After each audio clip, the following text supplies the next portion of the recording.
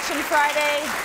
Folks out there, we have got so much happening on the show today. I am going to get started with our makeover right away. Dino Dilio is here. Dino Dilio Beauty. How you doing, Dino? And Janet Jackson. You've heard it all. I'm not going to say Miss, Miss Jackson if you're nasty. Okay. You've heard it all. Okay. Juju Hair Studio, sometimes my uh, hairstylist. You've worked with Fergie, Iman, Krisha Turner, Rita Ora. You've done a lot of celebs. I have. I have. We have another one for you today. Her name is Christina. Hi, okay? Christina.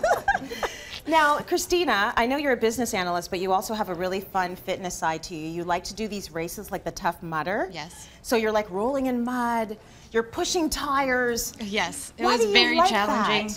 Um, I think doing the Tough Mudder was a very challenging competition, but once I was done, it gave me such a strong sense of accomplishment to be able to get through it. Um, there were points where I did want to give up, but to be able to say that I did it, it gives me motivation in my day-to-day routine. I love Just- that, and that's what I like about fitness in general. So today, no tough mudder, okay? Okay, okay. Today you sit back and you get all prettied up by our amazing team. Let's start with your plan, Janet, for her hair.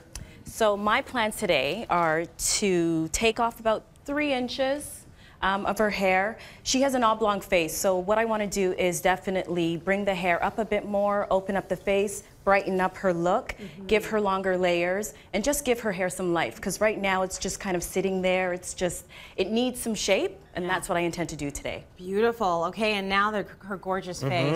Don't She give is- her tough mudder makeup, okay? No, no, no. We don't want any war paint on her. No, she's gonna be really mud. sexy. I'm gonna No do mud. no mud.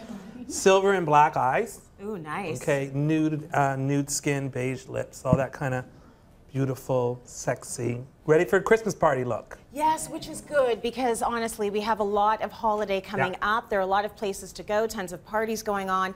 So we're going to get started on that right now. You're going to get your makeover.